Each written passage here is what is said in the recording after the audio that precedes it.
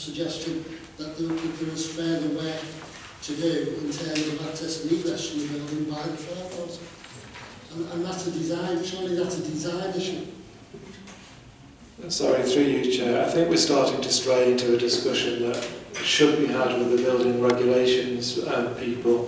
And it clearly says access and egress to the scheme are deemed acceptable in planning policy terms.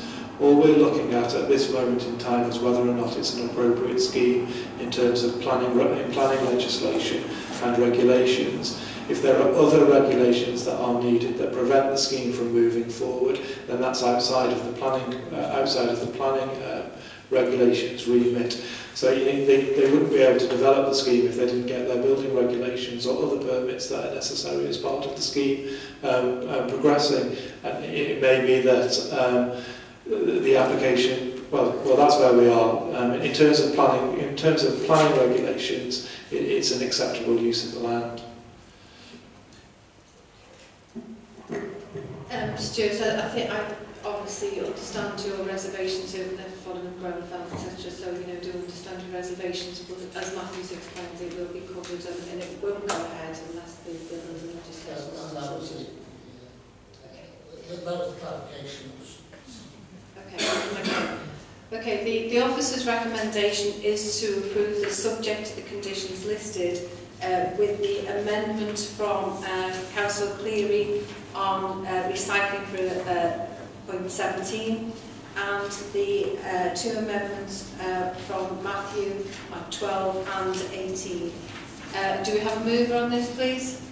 George, seconded, Ron. All those in favour of approval? That's unanimous. That's carried, thank you. Okay, agenda item five and six are site visits. So we're now moving on to agenda item eight, which is pages 47 to 52 in your packs. Could we have a presentation, please? And Tony, I think you're going to leave that in. Thank you. Tony, if you could just close the door Yes, open, please. Thank you. It's uh, open time to key on the outside. There's a key there.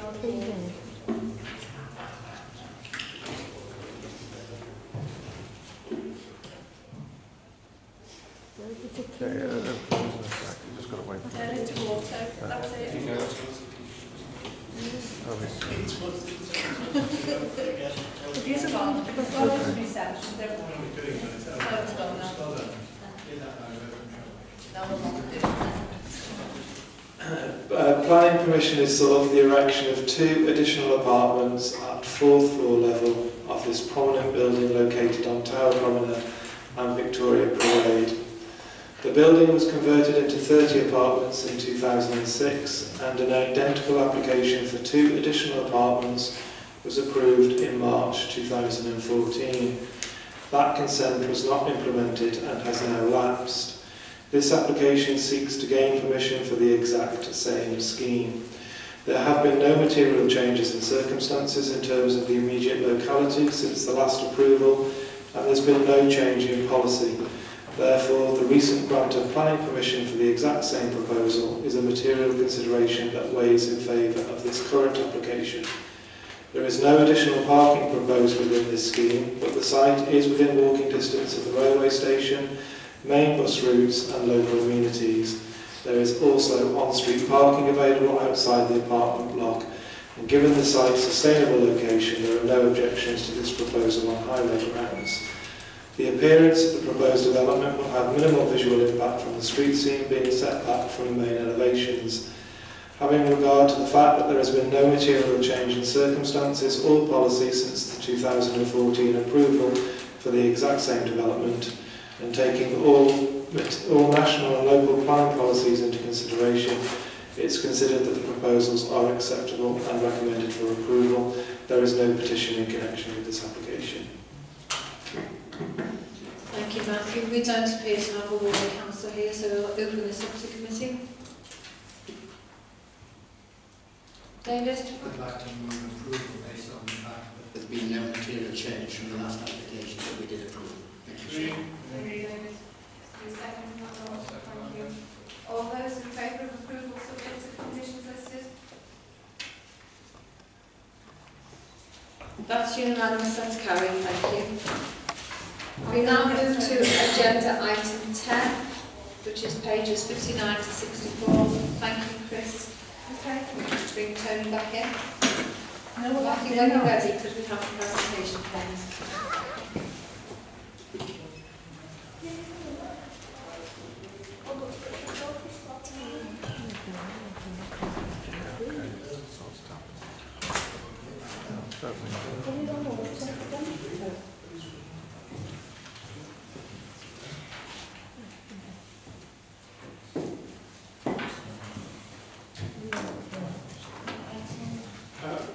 Planning permission is sought for the erection of side and rear extensions, the erection of a link extension to converted outbuildings at the rear, reconfiguration of site access and car parking alterations, and revised landscaping.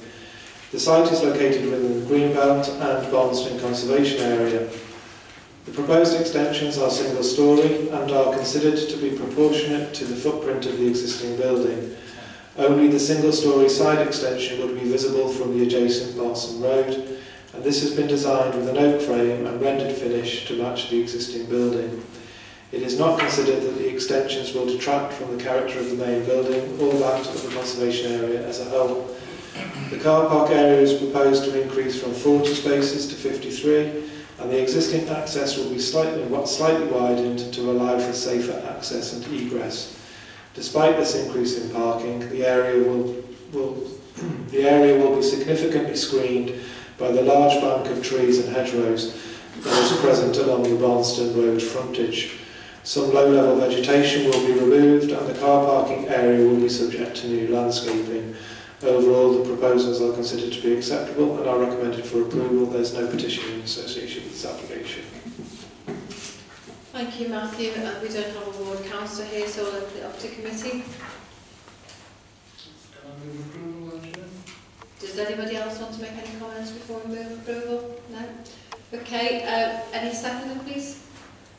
Uh, George, all those in favour of- of approval, subject to the conditions listed?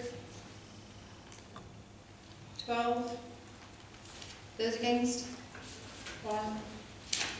Okay, that's carried, thank you very much. Going to move now on to agenda item 11, which is pages 65 to 68 in the fact the Gatehouse Wirral Business Centre. Uh, Matthew, can we have a presentation, please? Chair, may I say, I'm not absolutely sure whether I should withdraw for this one. In my ward. No, you don't need to withdraw because it's in your ward. Thank you.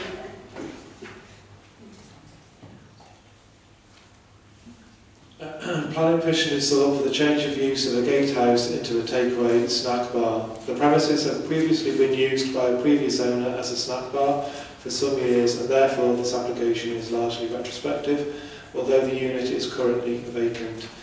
The proposal is very small scale in nature and the overall use of the remaining site will be an employment use.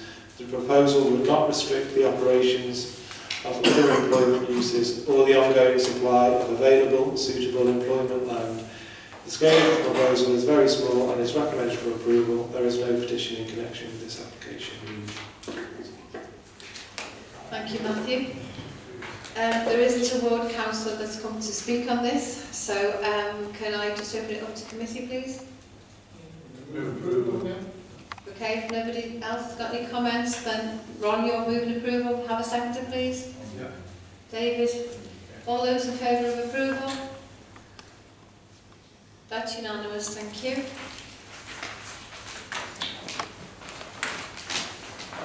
Okay, um, going to have um, agenda item 12, which is a, a judicial review update from our solicitor, please.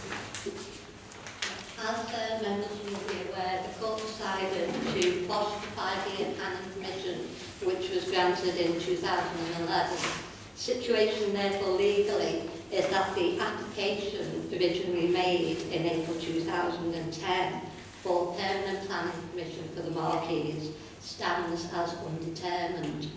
Therefore, the council now needs to determine that application afresh. The officers will request updated information from the applicant uh, uh, at at Thornton Manor to, in order to enable that application to be considered and a report and recommendation will be brought to committee in due course. Nice. Ron? Well, I was at the moment, what, what is the opposite of, uh, what is the judicial review? So, yeah, this, this refers to a judicial review which was um, lodged by Thornton, um, Ho- Thornton Hall Hotel with regard to Thornton Manor Hotel.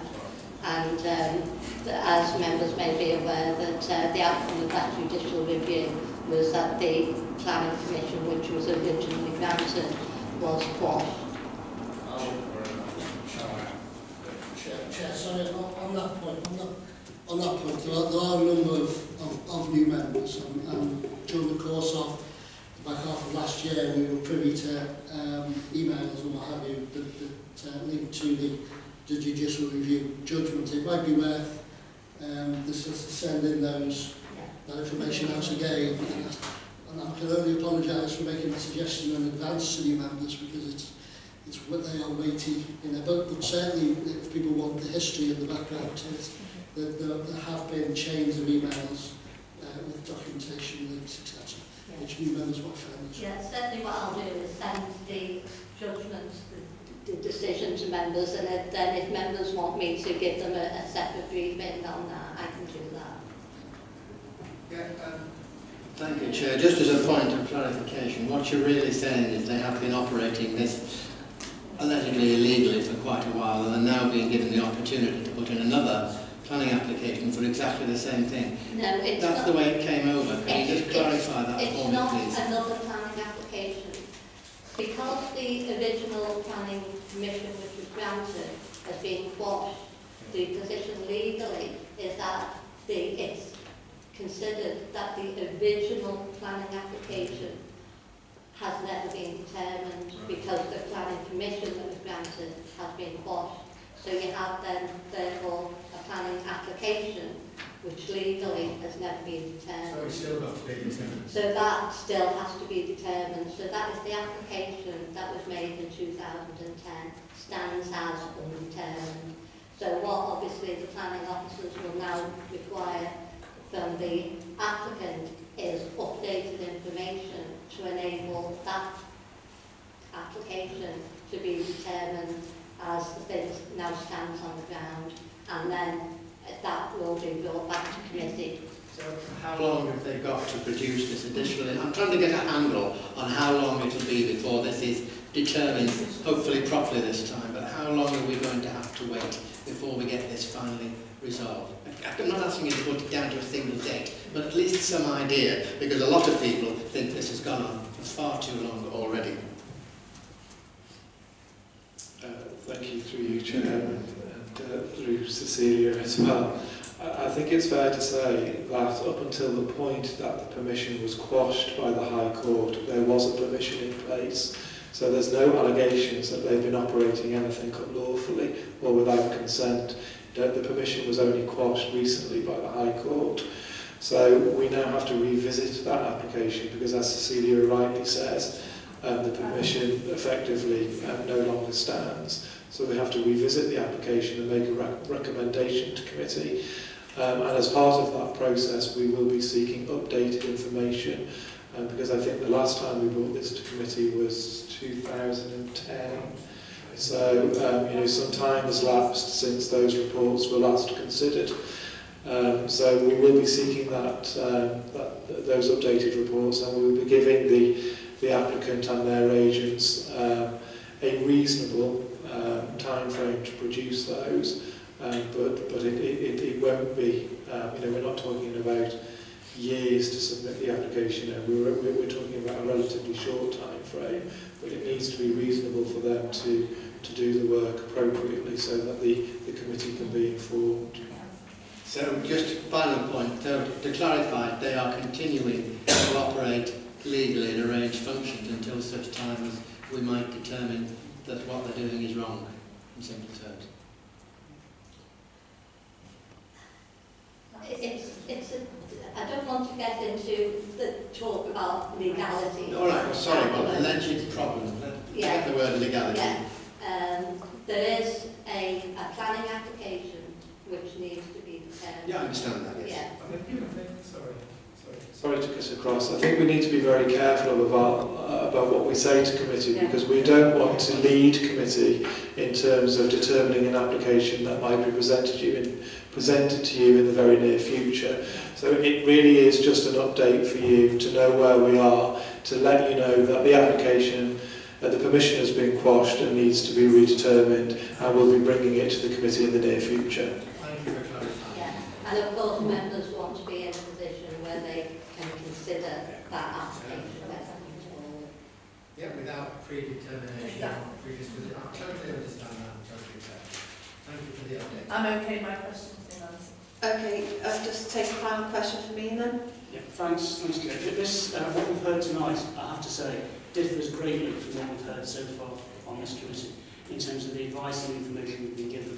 I was under the impression from this application, there's an application that been granted several years ago, a temporary, uh, temporary construction of marquees.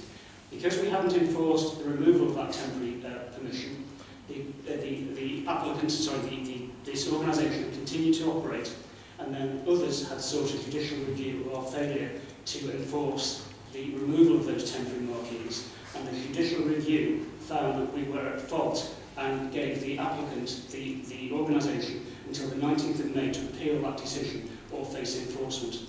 That's what we were told at the last planning committee meeting. That the, there was a temp, they'd been given temporary permission, it wasn't it hadn't been undetermined, but it, it was given temporary permission and we have never enforced compliance with the temporary. That's what we've been told by, by on this committee. Okay, I, mean, I think the, the situation was that a permission was granted and it was given five years. Well, we, I'm starting to stray into um, an area really that's that's almost leading committee in terms of, of, of what you might be asked to to make a decision on when it comes in front of you in the near future. But, but essentially there was a permission in place. A decision notice was issued that had no conditions attached to it. Um, and, and Thornton Hall sought to challenge that, that decision. That decision was then quashed by the, um, by the High Court, and the High Court have referred it back to the local planning authority to determine that application. So as it stands, we go back to the 2010 Commission, which committee will be asked to revisit.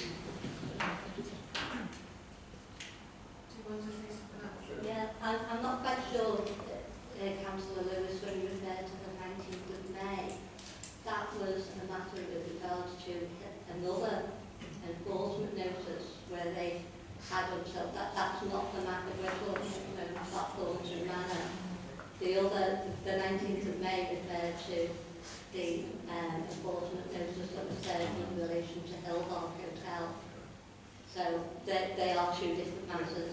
I I understand that. The point of this is that this application had been determined. We we were told earlier that this wasn't a determined application, therefore we will have to determine it in future. This application has It was been... determined, that's Well, right. we were told, sorry, But the High Court have now quashed that Yes. decision, Right. so there's no permission in place. Right. So now we will have to redetermine the Yeah. application. That, that, that is the legal position, that if a planning permission is granted, which subsequently is quashed, then it's as if there was never any determination on that original application.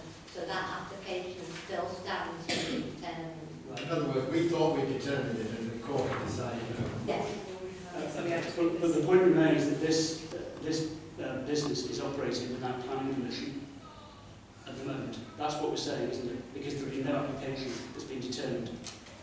So there is no planning permission for this business to be operating as it is now. But there is a planning application. There is a planning application and that needs to be determined. A new planning application or the same planning application? They're same. It's the same planning application, but as, as Matthew has said, because of the time that's ex- expended since the application was made, we will need to go back to them to ask them for further information to update the original information which came forward in 2000. Okay, I- I- If there's. Yeah, it, the, well, there will, there will be. I'm, struggling with two concepts from this, Chair, because one, it's not subject to a current legal case because the legal case is being decided, a judgment has been made, so we're not ultra vires or, you know, uh, outside the judicial process at the moment because a decision has been made. The decision that was made is that this business should not be operating there. No, no, that, that isn't the decision that was made.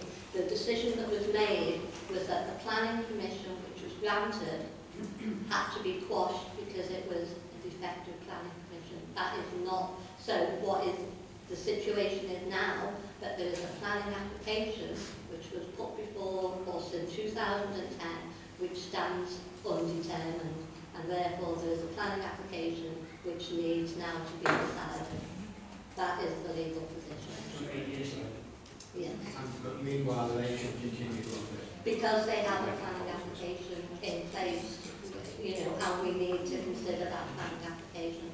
And I'm happy to discuss it further with you, but that is the, the, the legal position. Through, through you, Chair. My understanding was that um, when That, can I just stop you there? Yes. Because I think everybody's sort of like um, putting their own bits forward about their understanding of things. I think the important thing is here is that we have a full review because there's been a lot of time between these different reports and you know memories may be If I- if I The only point I wanted to make was that uh, the original application in 2010 level, Section 106 agreement was entered into and signed by the Borough Solicitor and the Borough parties. And therefore, uh, the fact that the, uh, and obviously the legal position is, is as it is, um, but what I don't understand is if the application was determined at the planning committee meeting and the planning committee voted that it was a five-year temporary marquee with the section 106 agreements signed and agreed to. Uh, from a layperson's point of view, I don't understand why the application was deemed, uh, well, I can understand that the, from a legal point of view it's deemed to be quashed, um, but that it, but I can't get my head around the fact that you're saying that the original application was deemed not to have been determined because the planning committee did determine it. It's the fact that the, the application, when it went out to the to Thornton Manor, went out without the conditions on, but those conditions were still in the 106 agreement, which was still signed as a party to the agreement. Then That's what you've got, there's a conversation going on. I- That's I don't understand. Yeah, I, I understand your, some your, but the, the legal position is that if there is a planning application where you then grant a planning permission, but that permission is subsequently quashed, it's as if that permission, I know it's been before the committee, it's as if that permission has never been approved. So you have a planning application that is still needs to be determined. and you know, the council has, it doesn't happen very often, but we have had situations before where there have been similar circumstances, and that is the legal position. Um, I'll bring you in in a second, John, but what I was going to say, yeah. Kathy, is that I think, you know, everybody's got sort of their own recollection of different things here, and it has been over periods of time, and my suggestion is that we have a chronological order of events um, provided uh, based based on um, what's been what we've had an update on uh, for not just for new members but for all members of the committee, so that we, we've got that clearly written down about what was going to happen by when and where we are today. Okay, Ron, was there anything else you wanted to say? Yeah, I was just saying, I was very critical with this conversation because different people have got different elements of, of Yeah. understanding of, of what has happened in the past, what's happened Yeah. in the interim period. Lots of us haven't had any interest in this, this um, application throughout the period in this life, whether it was, it, whether it was valid or not valid one. So I think, you know, that conversation is getting to difficult grounds for me. I don't like this big discussions that will happen, people discuss, but we're not all on the same level. And, and I think that's that's why I've made that's why I've made that suggestion if we get that chronological order. Okay, so thank you for the update, prolonged as it was, but and, and I think you know we've, obviously got a situation where there is a lack of true understanding of what, of what's gone on. So if we can have that chronological report, that would be great.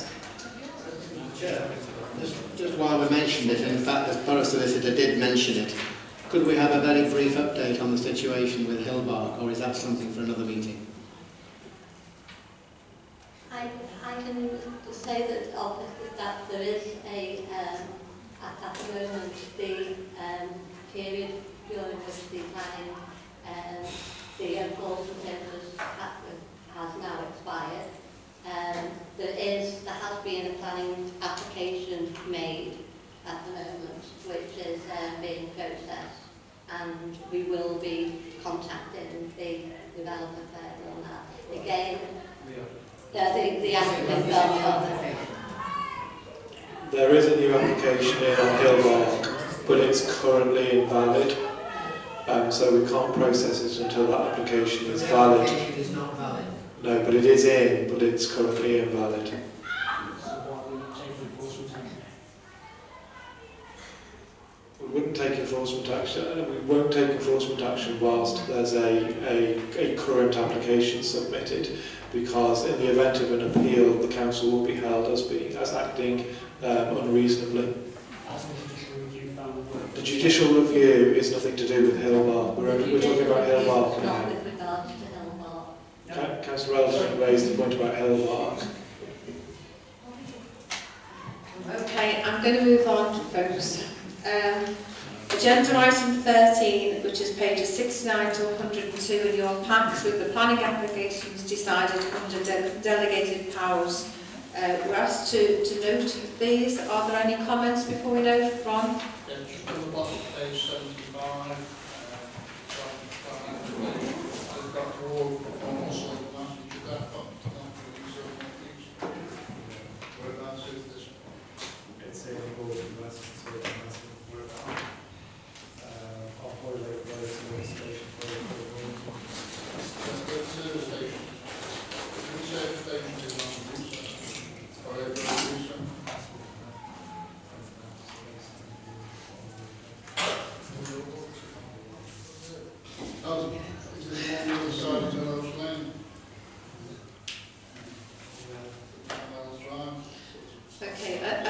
think besides that, there are a couple of, um, of these which haven't got a ward um, mentioned against them. Um, and, and just for, for new members' um, point of view, um, sometimes you will see that there's an applicant and an agent, and in other cases you'll see there's an applicant and no agent. Um, and that will be because the applicant has decided not to take up an agent um, to, to look at this particular planning application. Okay, so are we happy to note those, noting that there are some errors? Okay, all right, thank you. Thank you very much, committee, for your contribution. Good night. Thank you.